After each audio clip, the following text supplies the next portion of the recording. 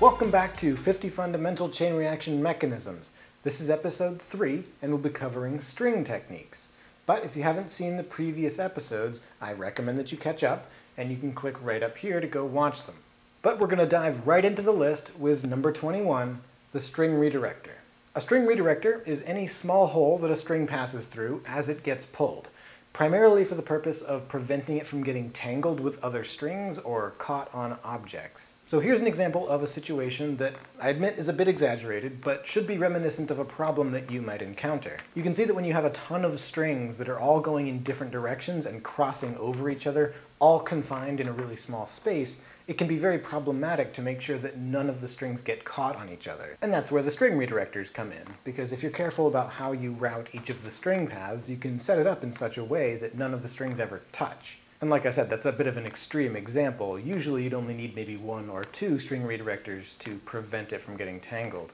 Personally, I also like to put a string redirector at the edge of the table when I have a weight pulling on a lever. At this point you might be wondering what the difference is between a string redirector and a pulley. And I'll admit there is absolutely a gray area there. And to demonstrate that, let's go to an example. Here we have a domino that falls over and pulls a string to release a ball. Now, if we add a string redirector, it still works, no problem. But if we reverse the direction of the domino and remove the string redirector, it doesn't work at all. But if we add the string redirector back in, it works again. So in this example, the string redirector is actually crucial to how the trick works. So does that make it a pulley? I would argue technically yes, but I really don't believe that the distinction here is all that important. We'll get to talking about pulleys next, and you'll see that in the middle, there's a lot of gray area between the string redirector and the pulley. But at the ends of the spectrum, they are two very distinct things, and it's important to know about each of them. So let's get on with it and talk about the pulley. Do you remember that example where I had the string redirector at the edge of the table? Well, let's take that example and keep the string redirector where it is, but we're going to change the lever. So you'll notice that now it doesn't actually work because the lever doesn't move far enough to release the ball. And if you weren't already convinced of the overlap between string redirector and pulley, I'm about to make things even more confusing.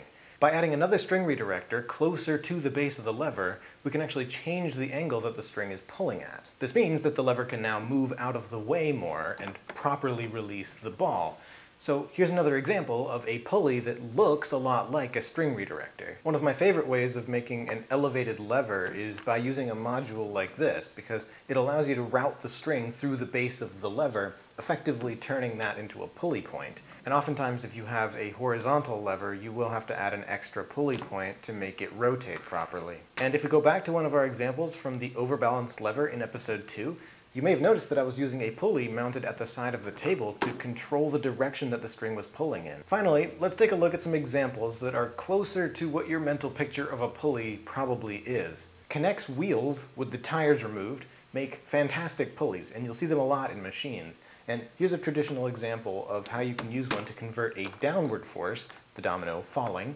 into an upward force, the track lifting. Keep in mind, you don't have to use pulleys vertically. If you turn them on their side and use them horizontally, you can unlock all kinds of new motions, like in this example from Dominoes versus Machines Round 7. One of the most useful ways of using a pulley is to reduce the friction of a string rubbing against the edge of a table. Here you can see just how much of a drastic difference the pulley actually makes. Even with all that weight pulling on the gear, the friction from the string rubbing against the table renders it completely ineffective. And here's a detailed close-up of the K'NEX module that I used to mount pulleys at the edge of the table. Feel free to use this if you'd like. So even with all these examples, we've still barely scratched the surface of what pulleys are capable of. So don't be afraid to get creative with pulleys and use them in pairs or more to accomplish all kinds of new and exciting motions. Number 23, string stopper. A string stopper is an object attached to some point on the string that prevents it from sliding through a string redirector. So let's take a look at what it actually is first. Here's an example of a traditional weight and string release. The domino falls off the table and pulls a string to release a ball. Now let's add two key ingredients, a string redirector at the edge of the table and a string stopper on the string itself. You'll notice that now, when the domino gets knocked off the table, it doesn't just fall directly to the ground. Instead, the string gets caught in the string redirector and the domino remains hanging from the table. So why is this useful? Well, first, if you have a large machine and a lot of dominoes that fall off the table, they will bounce in unexpected directions when they hit the ground, which means it can be quite difficult to track them all down again and figure out where they're supposed to go. But if you use string stoppers to keep the dominoes hanging from the table, it's very easy to track down where they came from, because ideally they'll be close by to where they fell from, but also they'll be in the same spot after every test. Secondly, dominoes hitting the floor and bouncing in unexpected directions is a huge problem at a live event where there might be thousands of dominoes set up on the floor everywhere. So you can imagine what that worst case scenario might look like. Now, let's take a look at what exactly I use as a string stopper. I found that the most effective option is a gray spacer and one of the shortest K'NEX rods assembled like this. This creates a very secure connection that does not slide easily. But if that method isn't an option for you, one alternative is to add a small tape flag to the string, which will work in a pinch, although I will caution you that it does have a failure point if you use it with too much weight. Number 24, string slice. A string slice is when instead of pulling directly on a string, you have an object pass through the path of a string to pull it. Here's an example of how a string slice can be used as a release mechanism, as an alternative to, say, a falling domino or a weight and string. Or if both endpoints of the string are attached to an object, this is a great way of pulling an object, or more accurately, pulling two objects closer to each other, in this case, the table and the top of the domino. One benefit, or one strength I would say, of the string slice is that no matter how long you make the string, it will still result in the same action, which means it effectively works as a very wide target for an object to hit. Because it doesn't matter at what point along the string gets hit or for that matter, how hard it gets hit, it will result in the same output action, which means you can take potentially a very imprecise input force and funnel that imprecision into a very precise output force. And you can see this exact phenomenon in this clip from the Keyfinder, where I take a very imprecise action, the belt falling, and convert it into a very precise action, the board falling over. Next up, we're going to take a look at a mechanism that you can almost think of as the inverse of the string slice, the string pusher.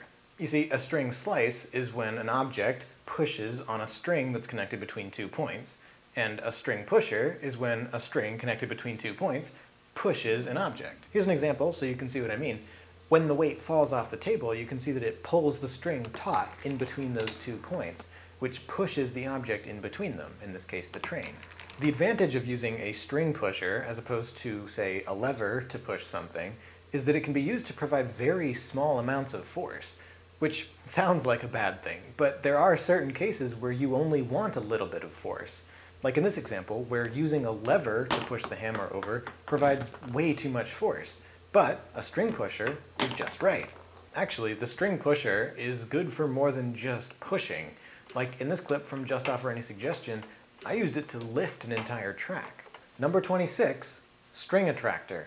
A string attractor is a weight attached at the midpoint of a string that's used to apply a force that constantly pulls the two endpoints of the string closer together. Here we see an example where I have a string with one endpoint attached to a block and one endpoint attached to a rotating track. And the string attractor in the middle pulls those two points together so that the track rotates until it meets the block. Nothing too impressive yet, right? Well, take a look at how resilient this mechanism is though.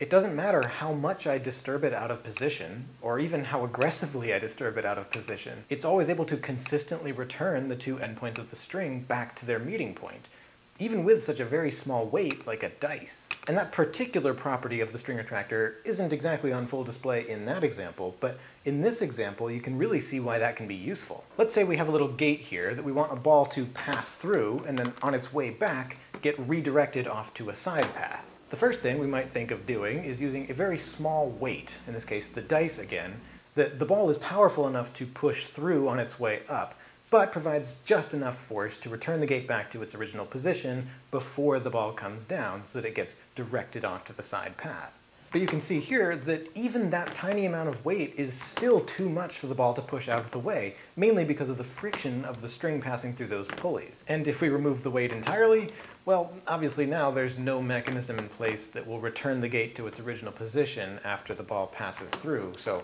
the gate just stays open, and this clearly won't work at all. And that's where the string attractor comes in, particularly the property that I mentioned where it's very easy to move it out of position, but still very reliable in pulling those endpoints back together. Number 27, traveling string pull. A traveling string pull is when one end of a string is secured and the other end is attached to a moving object. And that moving object travels along until the string becomes taut, which causes the string to pull on something. Here's a very straightforward example using a rolling platform and a lever with a string attached to it. You can see that the lever stays in place as it rides along with the moving platform until it reaches the point where the string becomes taut, at which point the lever gets pulled, releasing the ball. So there are two key components to a traveling string pull. You've got both the object that's moving, in the last case the rolling platform, and the object that's getting pulled by the string, or the lever. But the object that gets pulled doesn't always have to be attached to the moving object like we just saw. And here's an example of what that might look like. You can see that the object that gets pulled by the string, the track, is separate from the object that moves, again the rolling platform. One of my favorite ways of using a traveling string pull is to actually use it vertically, to tilt an object after it reaches a certain height, maybe to dump a ball out of a cup like this example from Kern Center Machine. Here's an example of combining both types of traveling string pulls into one trick. The tilting cup is an example where the object that moves and the object that gets pulled by the string are the same.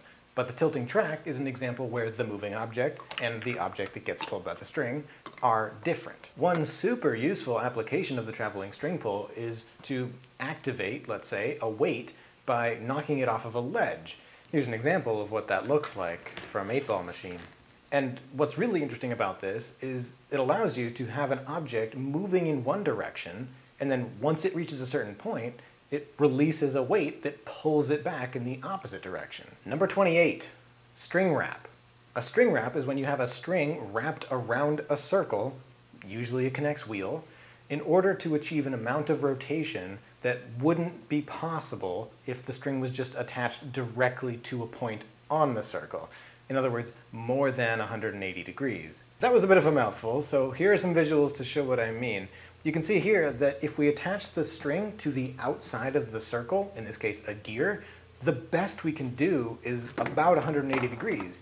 And since the ultimate goal here is to hit each of those three balls into the track on the left one time per revolution, we're going to need a lot more rotation than that. The solution to this problem is, of course, the string wrap, and you can see that by wrapping the string around the K'NEX wheel underneath the gear, we can achieve a lot more rotation.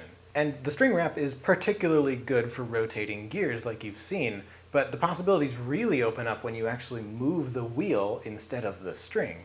Like in this example, where the wheel is mounted on a rolling platform, and the string unwraps from the wheel as the platform moves, resulting in this really interesting combination of both linear and rotational motion. What's really cool about this setup is that the unwrapping process doesn't have to start immediately. If you give the string a little bit of extra slack, you can actually treat it more or less like a traveling string pull, where an object moves, in this case the rolling platform, until the string becomes taut, at which point it starts to unwrap around the wheel. And here's an example of a trick that actually only works because of that delay between the rotational and linear motion. One other thing you can do with a string wrap that is a little bit harder to pull off is combine two string wraps in opposite directions so that while one of them unwraps, the other one wraps. What that allows you to do is create that combined linear rotational motion in both directions. So you can see here as the platform slides to the right, the gear rotates like we saw before, but it also works when the platform slides back to the left. Number 29, disconnecting string pull.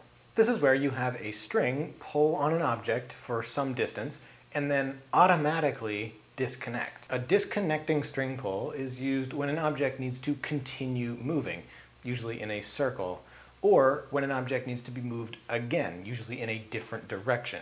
And crucially, the weight pulling on that object needs to be removed, or else that motion won't be possible. How would you get a wheel to start spinning really fast? You might think, okay, I'll take a string and I'll attach it to the outside of the wheel, and I'll take a heavy weight and pull on it really fast. Okay, but we've already seen that when you attach a string to the outside of a circle, you can only really go 180 degrees. Here's an example, using a fidget spinner, of why that strategy doesn't work. But if we were to rebuild this so that the string could disconnect, you can see that the fidget spinner is able to continue rotating even after the string has disconnected. And that's how I was able to achieve this motion from Vsauce machine, again, where a fidget spinner is able to rotate multiple times. But the disconnecting string pull is not limited only to rotational motions. Take a look at this rolling platform where a string pulls it to one side, and once it reaches that side, it automatically disconnects. Here's a close-up of how the string is actually disconnecting from the rolling platform. And the observant among you might notice that this release mechanism bears a very strong resemblance to the overbalanced lever. Number 30, magnetic string brake. Using a motor in a machine is a blessing and a curse. On one hand, it is a good source of a reliable, consistent, oftentimes pretty strong input force, but on the other hand, it's a constant force. So you either have to build in a way of turning off the motor after a certain time, or you have to be very cautious about building a machine that won't get damaged no matter how long the motor runs for. Or you can get a little bit creative, and that's where the magnetic string brake comes in. Here's a bit of an exaggerated example of what you don't want to do. This is what it looks like without a magnetic string brake. The idea behind a magnetic string brake is that you have two lengths of string held together by a magnetic connection. And this whole system will behave functionally like one continuous piece of string, except at a certain point. Once the force on the string exceeds a certain amount, it will just break apart at the magnetic connection. And this is how you solve the motor issue, because you can still use the string to pull an object into place, but once the object is in place, instead of jamming the motor or breaking the whole machine, the string will simply break apart. So those are the string techniques. And that's it for episode 3. In episode 4, we're going to be looking at advanced K'NEX techniques. And if the episode's out by now, you can click right here to watch it. If you liked the video, leave a comment down below telling me what you thought, and if you want to subscribe to my channel so you don't miss the next episode, you can click right here. I'm Jack of All Spades 98, and I'll see you in the next video.